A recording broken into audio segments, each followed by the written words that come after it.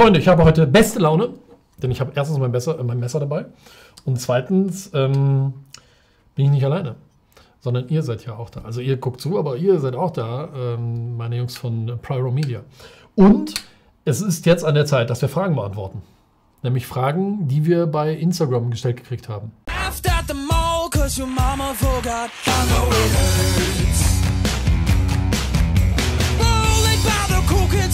First day of school, I know it hurts so bad. Die erste Frage.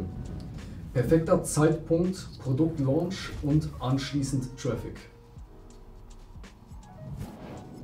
Ist das eine Frage? Mir fehlt irgendwie das Fragezeichen dabei. Wort Lars K07 die Frage. Lars K07. Perfekter Zeitpunkt, Launch. Produktlaunch und anschließend Traffic. Wann der perfekte Zeitpunkt ist? Vielleicht um ein Produkt zu launchen.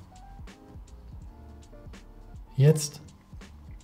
Also, ich versuche gerade ähm, zu verstehen, ob ich die Frage verstehen kann was ich das, also wie ich das beantworten könnte. Das ist ähm, perfekter Zeitpunkt, Produktlaunch und dann wird man da noch? Anschließend Traffic. Anschließend Traffic. Mhm. Anschließend Traffic. Also, die Frage ist ja, wenn du ein Produkt launchst, an wen launchst du es? Wenn du noch keinen Zielgruppenbesitz hast, ist es schwierig zu launchen, weißt du? Von daher, aber wenn du, wenn du schon Zielgruppenbesitz hast, du hast also eine Liste, die deine E-Mails liest, dann, dann launch das doch erst an diese Liste sammel Geld ein und mit dem Geld schaltest du dann Traffic, um, weißt du, das Momentum aufrechtzuerhalten, um mehr Luft unter die Flügel zu kriegen und um zu wachsen. Das könnte ein Teil der Antwort sein, falls ich die Frage richtig verstehe. Und das andere ist ansonsten, was der perfekte Zeitpunkt, wenn du mich nach einem Wochentag fragst, wann, wann wenn ich etwas habe, wann ich es launchen äh, würde, dann würde ich Launch-Start entweder sonntags oder donnerstags mh, ansetzen. Das sind die besten Tage dafür.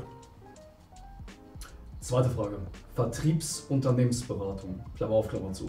Wie telefoniere ich erfolgreich mit potenziellen Kunden? Also euer Spezialgebiet.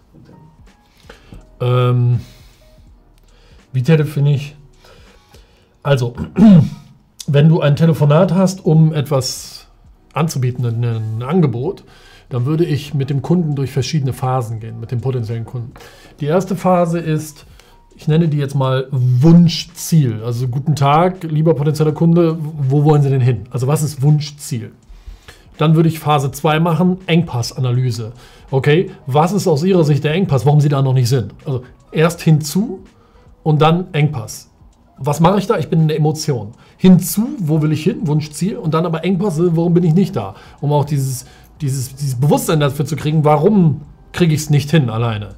Und dann würde ich den dritten Punkt nehmen, den ich nenne Veränderungsbereitschaft herstellen. So nach dem Motto, okay, haben Sie jetzt gesagt, wie ernst ist es Ihnen denn? Also wollen Sie das, wie, wie ernst wollen Sie denn wirklich dieses Problem lösen, um hin zu XYZ zu kommen?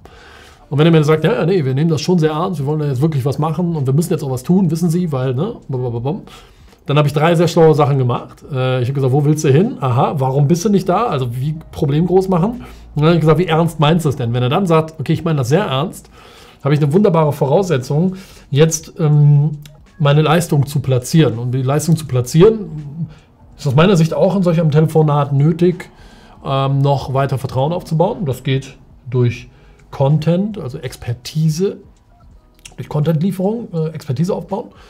Und am Ende würde ich die Frage stellen, mh, hm, ne, wenn ich auf Ihr Ziel zurückkomme, wenn wir Ihnen genau das bieten, dieses Ziel zu erreichen, ähm, wie interessant wäre das für Sie? Und wenn er dann sagt, ja, wäre schon interessant, ähm, dann hast du entweder schon den Deal geclosed oder du kannst auch die Frage dann dazu stellen, mh, wie würden Sie sich denn eine ideale Zusammenarbeit wünschen? Was wäre Ihnen denn wichtig in der Art, wie wir zusammenarbeiten? Und dann sagt die Person dir eben, was wichtig wäre. Und dann ähm, hast du damit eine gute Voraussetzung, nicht jeden, aber einen brauchbaren Prozentsatz auch zu closen auf dein Angebot. David Knieballner schreibt, beziehungsweise fragt, wie stehst du zu Geld? Würde mich sehr interessieren, LG Davids. Ähm, lieber David, wie stehe ich zu Geld? Ich liebe Geld. Geld ist eine ganz fantastische Ressource, die vor allen Dingen Freiheit bringt. Ne? Ähm, und das ist es. Und das Schöne ist, wenn man einmal, ähm, wenn, Geld kein Engpass mehr ist, merkst du, dass du die Dinge gar nicht für Geld machst, ähm, sondern gerne natürlich mehr davon hast, ähm, um noch mehr Freiheit zu haben. Aber ähm, ich, ich liebe Geld, weil es einfach Freiheit ermöglicht. So stehe ich zu Geld. Ben VBO fragt, Aktien oder Immobilien für Geldanlagen? Ich fürchte, ich bin der falsche Ansprechpartner. Ich habe von beidem keine Ahnung. Ähm, ich habe mein Geld nicht in Immobilien und ich habe mein Geld auch nicht in Aktien, sondern ähm, in Firmen. Aber ich glaube, am Ende ist die Antwort ähm, je nach Stadium, wo du bist. Ne? Also wenn du nur 1000 Euro hast, weiß ich nicht, wie schlau es ist, diese 1000 Euro nur auf eine Sache zu setzen. Wenn du aber weiter bist auf deiner Journey und schon ein gewisses Vermögen hast, dann macht natürlich auch Streuen viel Sinn. Also viele meiner ähm, Bekannten und Freunde, die auch unternehmerisch aktiv sind und zum Teil sehr, sehr, sehr, sehr wohlhabend sind, ähm, die haben halt nicht das eine oder das andere, sondern die haben halt ein Und. Ähm, ich, glaube, ich glaube, Aktien ist immer so ein bisschen. Aktien ist auch immer ein bisschen Gambling, hm, ohne aber jetzt Profi zu sein. Und du hast es nie hundertprozentig in der Hand. Ähm, wobei du bei Immobilien, glaube ich, schon ein bisschen mehr steuern kannst. Aber für mich sind es Unternehmen ganz einfach, weil ich genau weiß, okay, x Euro in, äh, in, das Unternehmen bringt am Ende wahrscheinlich eine Rendite von. So und deswegen, so würde ich die Frage beantworten. Aber da gibt es schlauere Leute. Frag mal Alex Fischer. Dino Safik fragt dich: Triple Conversion, E-Book oder Webinar? Ähm, Triple Conversion, E-Book oder Webinar. Ich bin unsicher, was das äh, ganz genau jetzt, äh, wo die Frage da drin steckt.